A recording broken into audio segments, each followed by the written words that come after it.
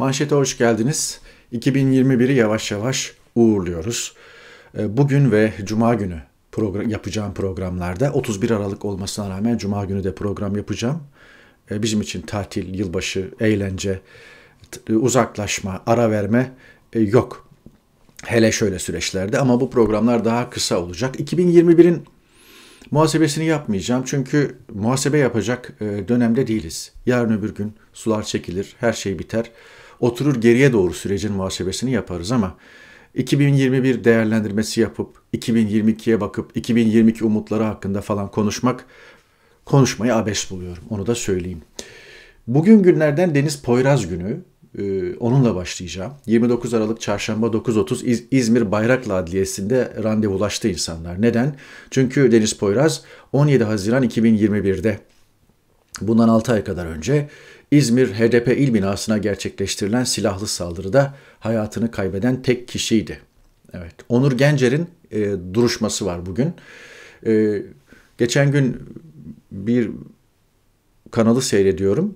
Orada iki CHP'li, CHP'li olduğu belli bunu da saklamayan yorumcu kendi aralarında konuşurken işte biri dedi ki Deniz Boyras'ın yargısı var, e, mahkemesi geliyor. Öbürü de Deniz Boyras kim dedi. İşte çok temel bir problem bu. Deniz Poyraz kim diyor. Yani her gün yorum yapan, her gün gazeteleri okuyan, her gün önünden geçen şeyleri analiz eden kişi bunu söylüyor. Yaşı da 60 falan yani bu arada.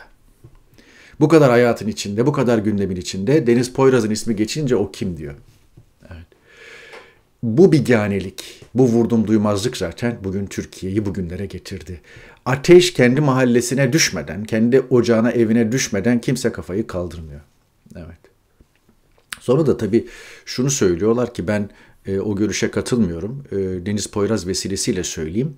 E, muhalefeti eleştirmek ya da bugün Türkiye'de medya mahallesini eleştirmek düşmanlık değil. E, bilakis ikaz, ihtar. E, yani hep beraber tek adam rejiminin paletleri altında kaldık biz. E, ve bunun değişmesi hiç değilse eski normale dönmesi için e, çabalıyoruz. Haliyle muhalefetin her hareketini alkışlamayı, her attığı adımı onaylamayı e, ve hatalarını görmezden gelmeyi gerektirmiyor bu durum. Bunların hepsini ikaz veya ihtar olarak e, değerlendirmek lazım. Ha şunu şunu kabul etmiyorum. Hassas bir süreçten geçiyoruz. Bunları dile getirmenin zamanı mı falan? Evet zamanı. Ben böyle bakıyorum. Anlatabiliyor muyum? Yani kimseyi bu yönde de kritik etmemelisiniz. Ayrıca bu muhalefeti gömme değil bir yol gösterme analizi veya analizleri buna da böyle de, e, bakmak lazım. Risklere dikkat çekiyoruz. Tuzakları gösteriyoruz. E, ve hiçbir şeyin eskisi gibi olmadığını vurguluyoruz. Yaklaşan veya yapılması planlanan seçimlerle alakalı olarak da iktidarın tüm devlet olanakları ve yasa dışı yöntemleri kullanarak iş tuttuğunu söylüyoruz. Bunların hepsi risklere dikkat çekmek.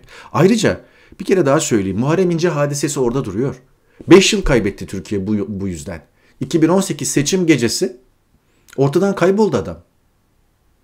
Halbuki binlerce avukatla sandıkları tutacaktı değil mi Muharrem İnce?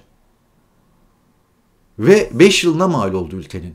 2023'te gidilmesi planlanan gidilirse seçimde de ülke bir 5 yıl daha kaybetmesin diye çabalıyoruz. Yani kastettiğimiz bu. Şo- sormayalım mı yani?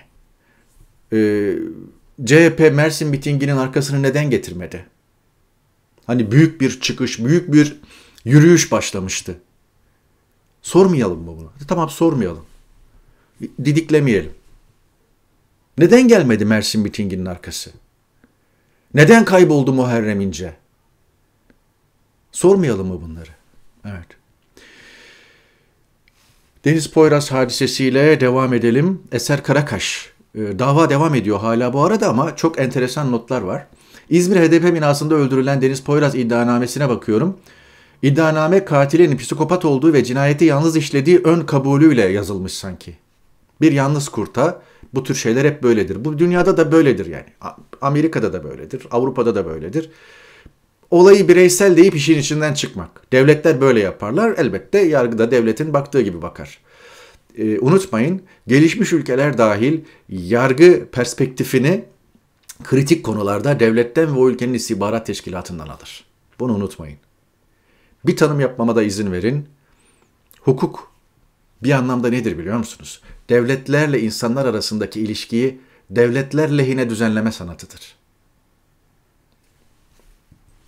Meral Danış Beştaş, HDP'li siyasetçi, Deniz Poyraz davasında katilin hal ve hareketleri ve deliller, dikkat buyurun, eğitimli olduğunu, sırtının sıvazlandığını, arkasında ciddi bir güç olduğunu, cinayetin organize ve örgütlü olduğunu açıkça gösteriyor. Önümüzden geçerken gözümüze bakabilecek kadar eğitimli, soğukkanlı bir cani demiş.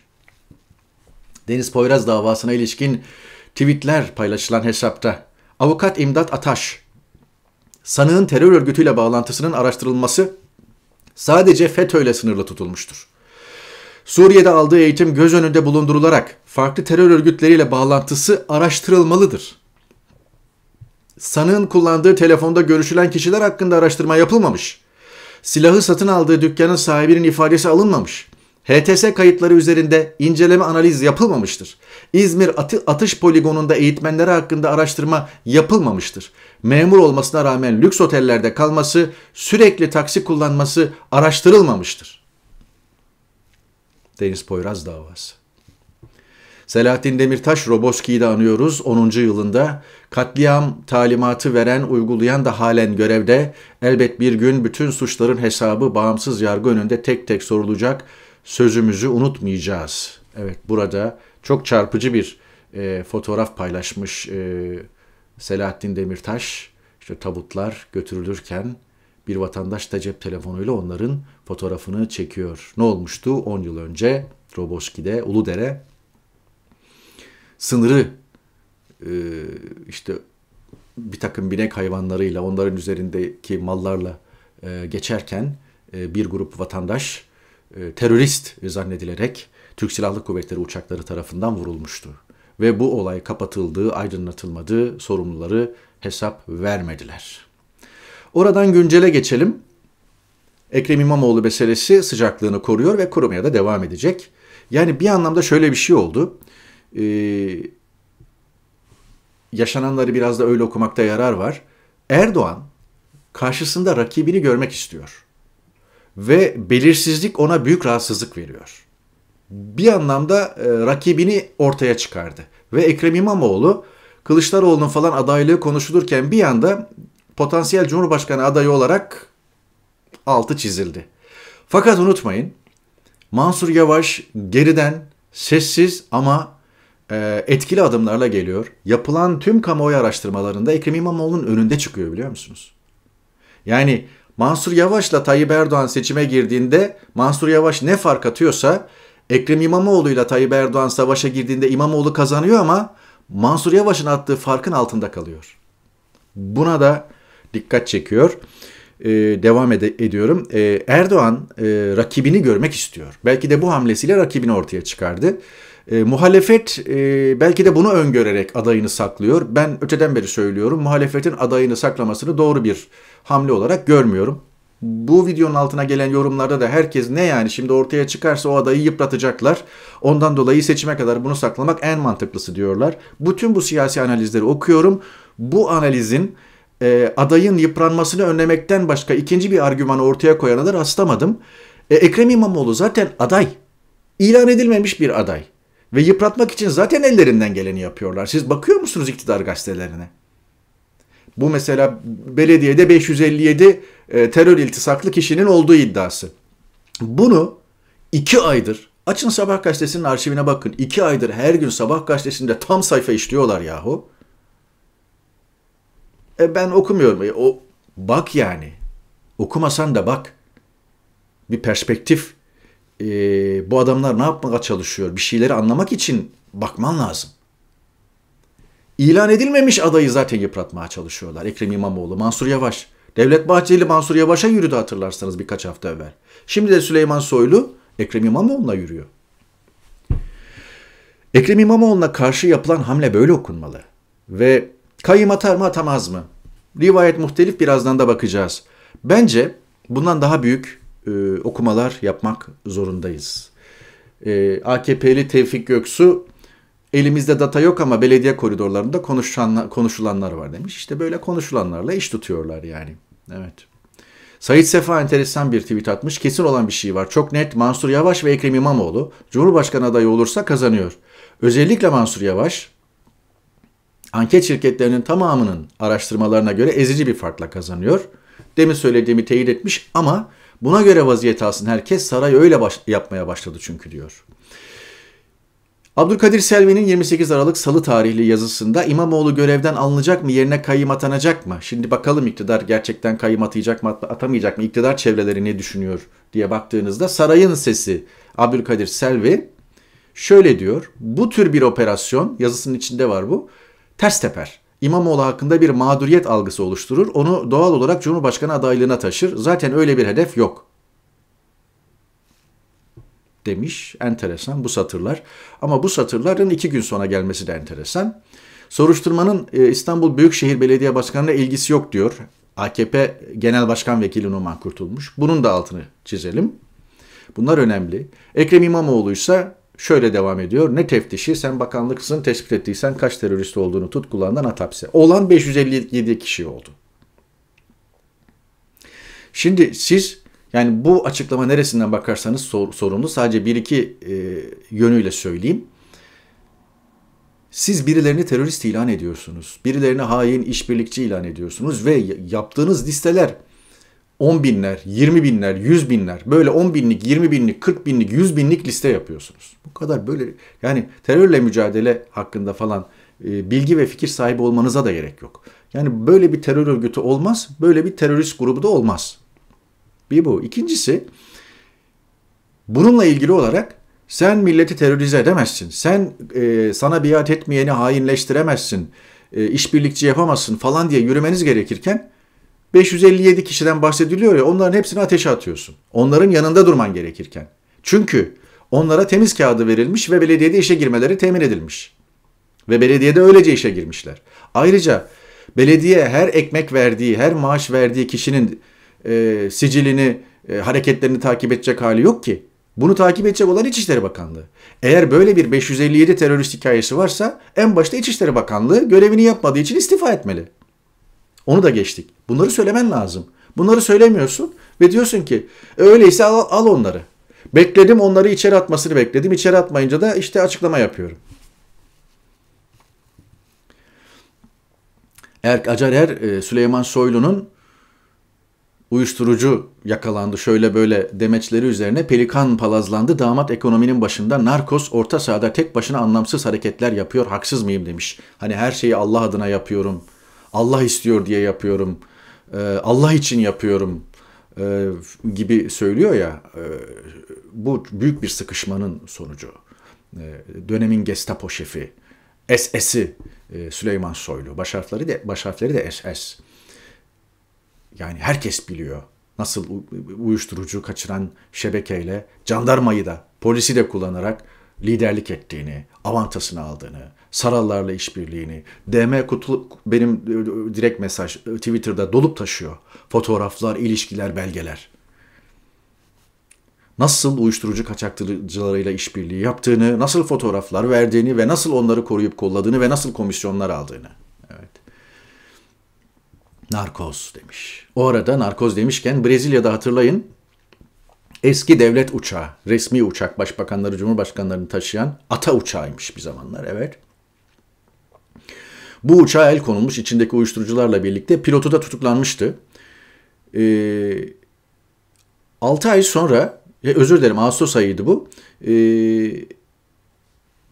4 ay sonra sahibi gözaltına alınmış uçağın. Kimmiş? Şehmuz Özkan. Pilotu da e, yeni işte efendim e, o da gözaltına alınmış ya da tutuklanacak öyle deniyor. Yani şeyden sonra pilotundan sonra sahibine de şey oldu. Fakat sabahta çıkan habere bakıyorsunuz. İçinde uyuşturucu çıkan jetin pilotu yakalandı diyor. Pilot kendi ayaklarıyla e, Brezilya'da serbest bırakıldıktan sonra 26 Aralık'ta Fransa üzerinden İstanbul Havalimanı'na kendi ayaklarıyla giriş yapmış yakalandı diyorlar. Yani o pilot belli ki bir şeyi takip ederek geldi. Veya bir perspektifle geldi. Aldığı bir izinle, işaretle geldi. Adam kendi elini kolunu sallaya sallaya Türkiye'ye gelirken alıyorsunuz onu havalimanında. Sonra da enteresan bir şekilde Uçağın sahibini yakalıyorsunuz. Duruyorsunuz, duruyorsunuz. 4 ay sonra harekete geçiyorsunuz. Tuhaf şeyler oluyor. Çok tuhaf şeyler oluyor. İncelensin diye buraya bırakıp hemen dolar, döviz kuru vesaire haberlerine geçiyorum.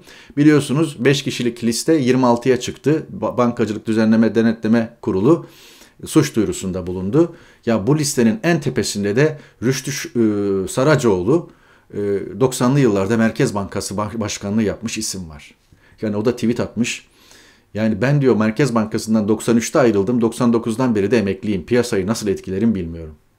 Türkiye'den haber e, nedir? E, Türkiye'de ne konuşuluyor derlerse bunu koyun yeterli. Selin Sayıkböke paranın izini sürmeye devam ediyor ama muhalefet biraz daha cesur konuşmalı.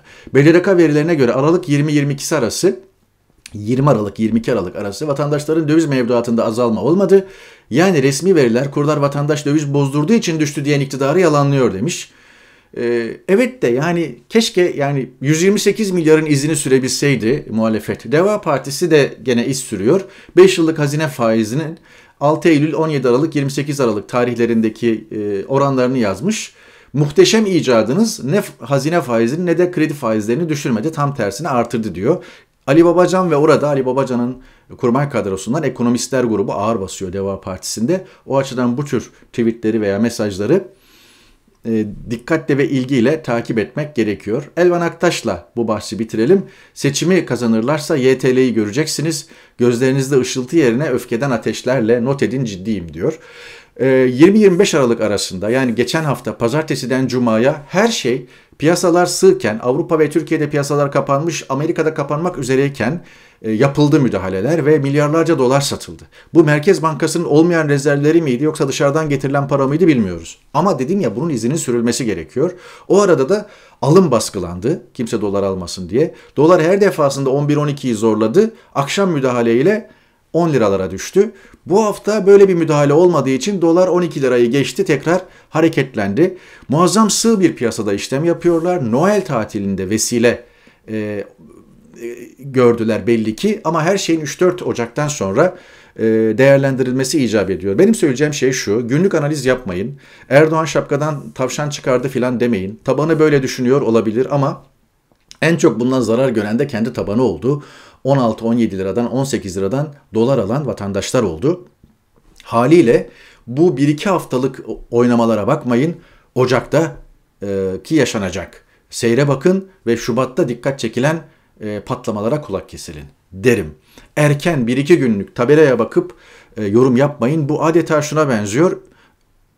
Yani gerçekten umutsuz bir hastanın, e, ümit kesilmiş bir vakanın neyse son anda ağrı kesicilerle veya dopinglerle ayağa kaldırılması gibi bir hadise var. Onun etkisi geçtiğinde tekrar yatağa düşmesi mukadder. E, bu, bu örnekle de olayları değerlendirin. Çok önemli bir e, tweet mesajıyla bugünkü e, manşeti noktalamak istiyorum. E, Amerikalı kongre üyesi e, Frank e, Pallon e, veya Palloni e, tam olarak nasıl telaffuz edildiğini bilmiyorum.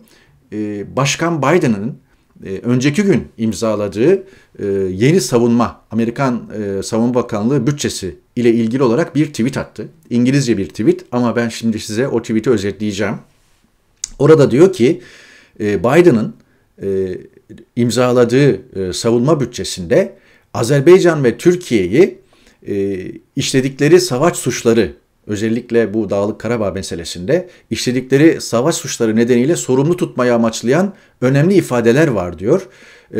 ve istenen raporlar bu sonuçları ortaya koymada doğru doğruluğu temin etmek için doğruluğunu ortaya çıkarmak için çabalarım sürecek diyor.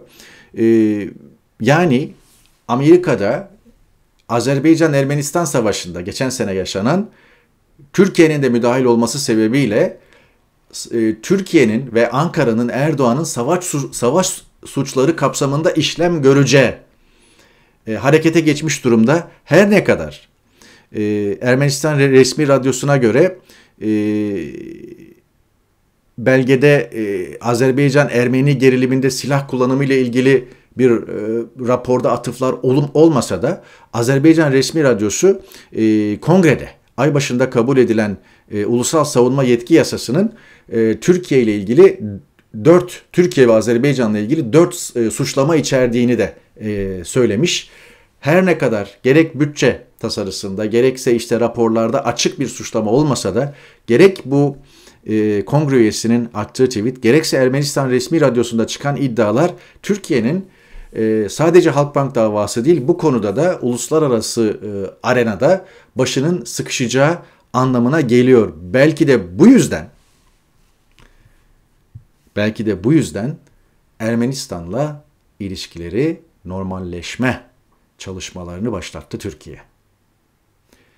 Rusya Dışişleri Sputnik'ten okuyorum ki Rusya'nın resmi ajansı Rusya'ya bağlı bir, bağlı bir ajans daha doğrusu normalleşme süreçlerinde Ermenistan'la Türkiye arasında ara bulucu rolüne hazırız demiş. Burada mesele Amerika'da yola çıkan Türkiye ile Azerbaycan savaş suçu işlemişler raporu, çalışması veya suçlaması neyse ona karşı bir bariyer oluşturma. Bunu da böyle okuyun. Türkiye Ermenistan'la ilişkilerini paşa gönlü öyle istediği için, vakti öyle ve vakti geldiği için, e, geçmişten dersler çıkardığı için değil, Amerika'dan yola Amerika'da yola çıkan Türkiye savaş suçlusu ithamından kurtulmak için yapıyor. Bakalım neler olacak? 2000, 2022'nin ilk çeyreğinde veya ilk yarısında bu olayın da bu konunun da suyu çıkar. Diyoruz ve böylelikle bir manşet yayınını daha noktalıyoruz. Cuma günü yılın son manşet programıyla karşınızda olmak umuduyla hoşçakalın efendim.